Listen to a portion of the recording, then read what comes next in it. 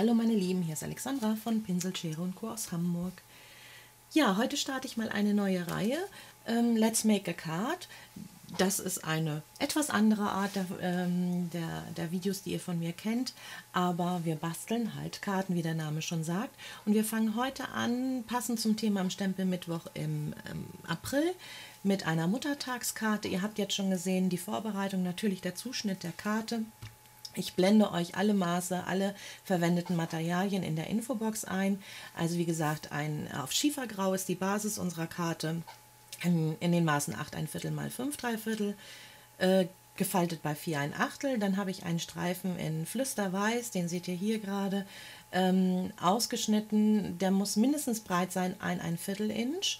Äh, Zentimetermaße seht ihr in der Infobox und ein bisschen länger als eure Karte. Und dann arbeiten wir mit dem Kreativset Blüten der Liebe aus dem Frühling-Sommer-Katalog. Äh, das ist viel zu kurz gekommen bisher, dieses Set. Ich fand das total schön, gerade weil ich ja auch so ein Rosenrot-Liebhaber bin. Und ähm, aus diesem Set suche ich mir dann halt die Teile aus, dieses goldene Herz und äh, die Büroklammer mit der Schleife. Stanz mir jetzt noch ein etwas größeres Herz aus mit den Framelets ähm, aus der Mini-Leckereintüte, dieses größere Herz. Das ist etwas größer als unsere Handstanze. Finde ich ist aber perfekt jetzt gerade für diese Karte äh, von der Größe her. Ähm, die Big Shot, klar, das gehört dazu. die ist ein Basic, ohne Big Shot kann ich gar nicht mehr basteln. Und jetzt seht ihr hier, wie so eine Karte entsteht. Ich arrangiere einfach die Teile, ähm, nehme mir dann noch das Set äh, Blüten der Liebe dazu, weil das einfach, äh, klar, es gehört ins gleiche Sortiment. Ähm, das Kreativset Blüten der Liebe, hier Rosenrot wiederholen wir und Anthrazitgrau, weil Schiefergrau zu äh, schwach wäre für den ähm, Stempelabdruck, finde ich jedenfalls. Und äh, jetzt stempeln wir uns dieses Banner aus dem Set Blüten der Liebe einmal in rosenrot auf flüsterweißen Farbkarton auf. Zack. Und ähm, ich habe mich für den Spruch von Herzen entschieden. Der ist so schön alltagstauglich, auch für die Mutter. Der wird da dann noch reingesetzt. Bei den Klarsichtstempeln könnt ihr super durchgucken und das Positionieren ähm, ist damit ganz einfach. Das wird jetzt auch nochmal ausgestanzt und diesen Framelit äh, für das Banner gibt es in dem Framelit-Set große Zahlen.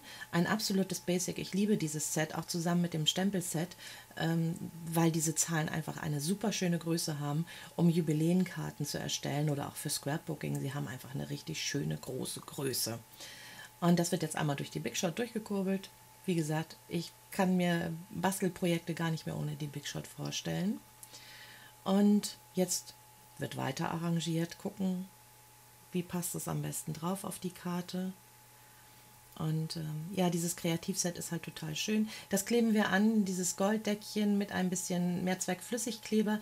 Wenn ihr da mit den Dosierungen noch nicht so ganz klar kommt, weil der, der das bedarf schon ein bisschen Handling, dann nehmt einfach ein Snail und geht drüber. Ansonsten drückt es sich, ihr seht sogar bei mir, dass es sich ein bisschen durchdrückt, durch und das sieht dann nicht ganz so schön aus. Jetzt kommt ja hier natürlich noch äh, die Banderole rüber mit den Herzchen. Da bringe ich nur ein bisschen Kleber an den langen Seiten auf, gar nicht zwischen den Herzen und positioniere so, dass es links und rechts am Rand einen, einen ganz guten Abschluss kriegt einfach drüber über dieses goldene Herz. Dadurch entsteht ein interessanter Lagenlook. Ist einfach schöner, als wenn ihr erst diesen Streifen klebt und dann das Herz da drauf. Ich finde, so ähm, wird es ein bisschen interessanter. Die Überstände werden abgeschnitten.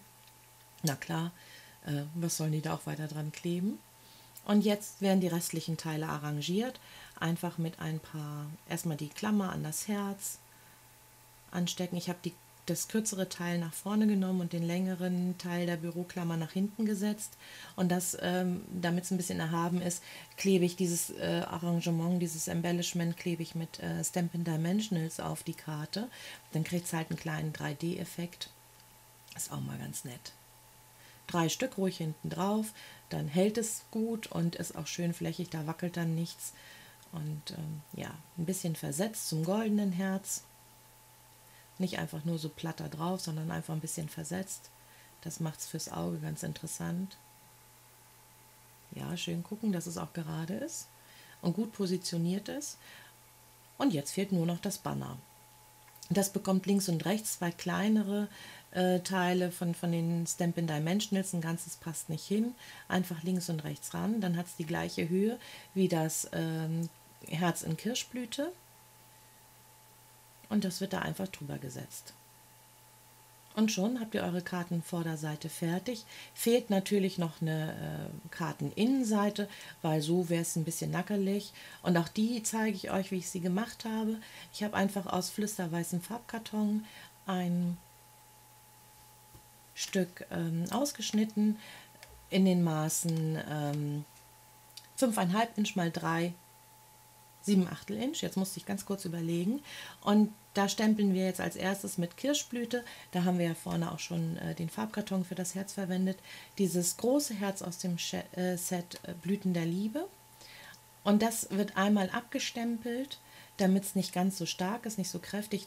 Kirschblüte ist ja schon eine schwache Farbe, aber sie wäre halt finde ich, oder nach meinem Empfinden trotzdem noch zu stark. Deswegen hier noch ein ganz zarter Hauch. Ihr seht das, ist wirklich nur ganz minimal zu sehen, soll auch nicht äh, ins Auge springen.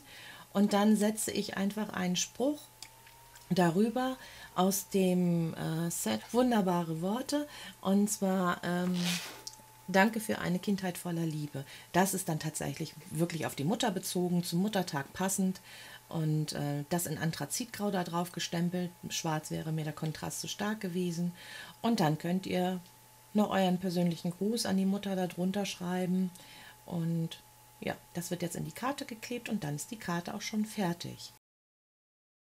Und ich hoffe, ich konnte euch damit eine kleine Inspiration geben. Diese Art Videos ist halt nicht sehr lang. Das kommt, euch, kommt vielen zugute, ich weiß. Ähm, und einfach mal zugucken, wie so eine Karte entsteht. Und ich sage Tschüss aus Hamburg. Tschüss.